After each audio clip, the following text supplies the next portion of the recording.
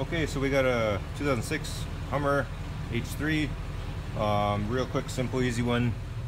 We got no fan speeds on any of the settings. The lights are lighting up.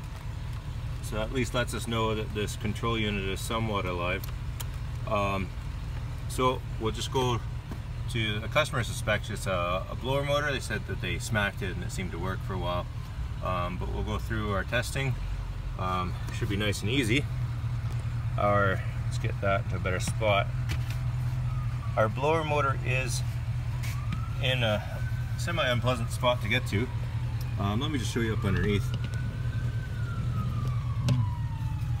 But we can get to that relay and we can get to the resistor really easily.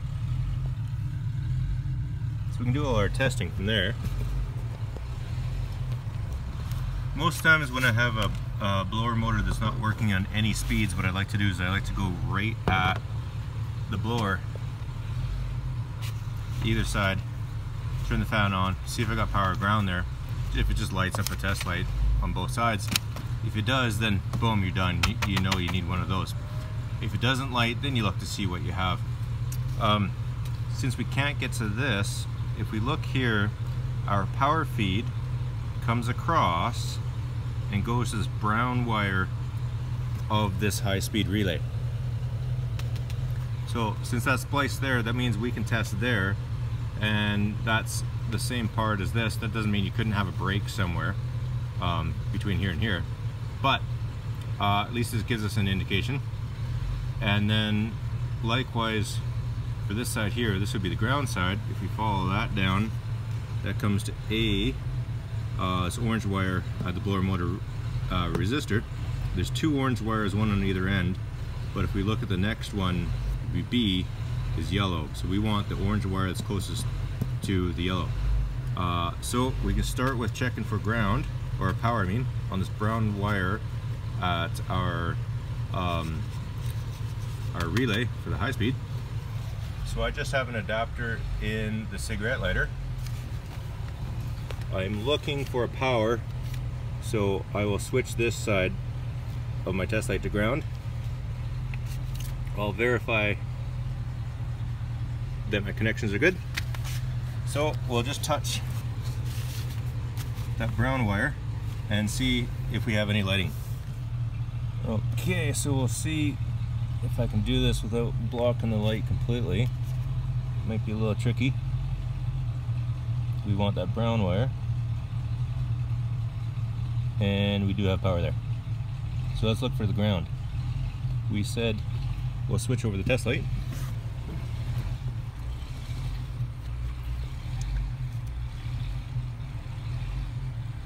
Okay. Now we look for the ground, which we said was the orange wire of the relay or the resistor pack. The orange wire that's closest to the yellow.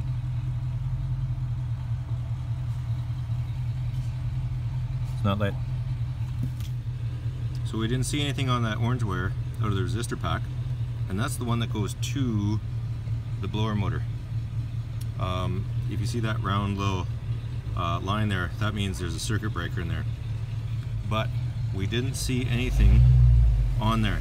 So let's look at, um, we are on three right now.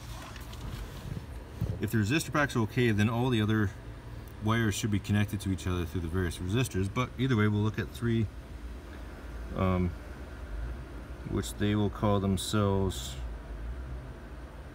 uh, M2 um, because that's low would be like yeah.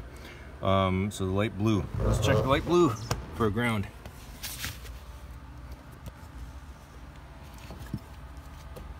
Uh, where are we? Right there Come There we go. We got ground there. We got ground there. We got ground there. check the orange too. Ground there. Ground everywhere but this guy. So that means we have a ground. We have a ground here. We have a ground here. We have ground here. We have ground here. These all should be connected through various resistors.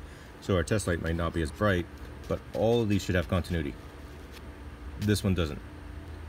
So either our circuit breaker's blown somewhere in here, or we have a burnt terminal. Let's pull this off.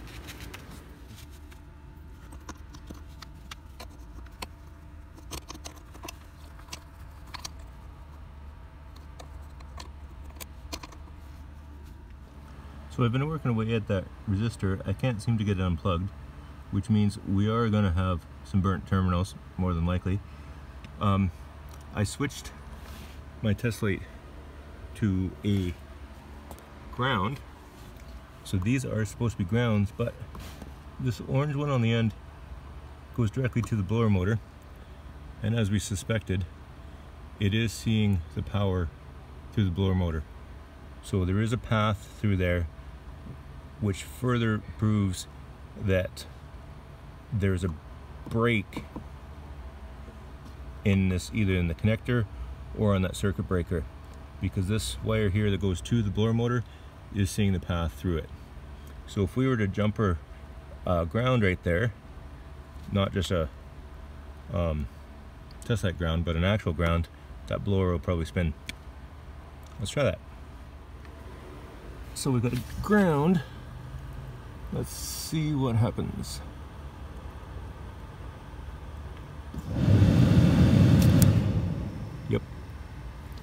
We got a resistor and or connector issue. Not a blower. Yeah, so this is really hard to get off. I'm using these spreaders and oh, let's see if we can do it while you're here. When it starts to move, finally, I hear the scrunchy sounds. And that usually means that, which sucks because we can't get one of these connectors today. That's overnight, but it is what it is. A lot of times this is what happens. Usually burns up both and you gotta replace both. So, not much we can do um, if you try and clean that up, usually it'll just burn again. You get um, corrosion, which makes a bad connection, which means resistance, which means heat. And uh, it might work for a little bit, but it'll just happen again. So, yeah, we'll need to replace this as well. So against my better judgment, uh, customer doesn't want to wait a day. They quote unquote gotta go, but you know what? They make the decisions. So we are just gonna clean that up as best we can does seem like maybe there's enough metal there to make some kind of contact. Um, hopefully it stays on. Um, so we just got our diamond files. We'll go through, clean it up really good. And then afterwards, usually what I'll do is I'll take something like one of these picks and I'll dig up underneath the tongue of that terminal on any of them that seems to be down a little bit so this one over here, I know it's not the best, but um, you're not really going to be able to pull these out very well anymore. Yeah, so you just want to tighten up those terminals a little bit, any of them that seem to be down a little bit.